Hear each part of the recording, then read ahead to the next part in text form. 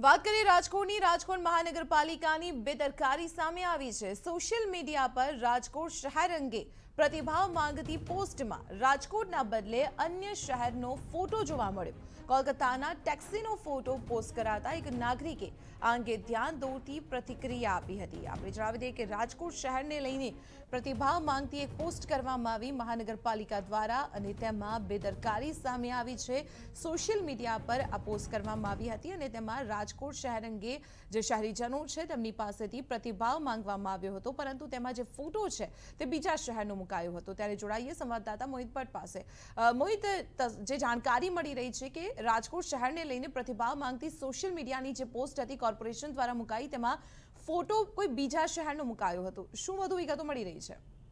અ, દીપાલી રાજકોટ મહાનગરપાલિકા દ્વારા અ, જે રાજકોટ શહેરને અ,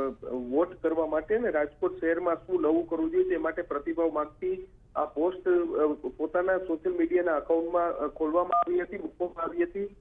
અ, જોકે તેમાં અ, અધિકારીની ગંભીર પ્રકારની બેદરકારી કે ગંભીર પ્રકારની ભૂલ સામે આવી છે રાજકોટ શહેરના ફોટા મૂકવા જોઈએ રાજકોટ શહેર કયા પ્રકારનું છે તે અંગેના અથવા તો રાજકોટ મહાનગરપાલિકાએ કરેલા કોઈ કામ અંગેના ફોટો મૂકવા જોઈએ તેની બદલે અ, કોલકાતાની ટેક્સીના અને અન્ય શહેરોના ફોટા મૂકવામાં આવ્યા હતા જેને લઈને અ, શહેરીજનો છે તેમના દ્વારા અ, જે રાજકોટ મહાનગરપાલિકાને હાસ્યાસ્પદ સ્થિતિમાં મૂકી દીધી હતી સાથે સાથે અ, એક ફિટકાર પણ લોકો દ્વારા વરસાવવામાં આવી હતી અ, બનાવની ગંભીરતાને જોતા જે રાજકોટ મહાનગરપાલિકાના શાસકો છે તેમના દ્વારા તાત્કાલિક જ આ ફોટા દૂર કરવા માટેની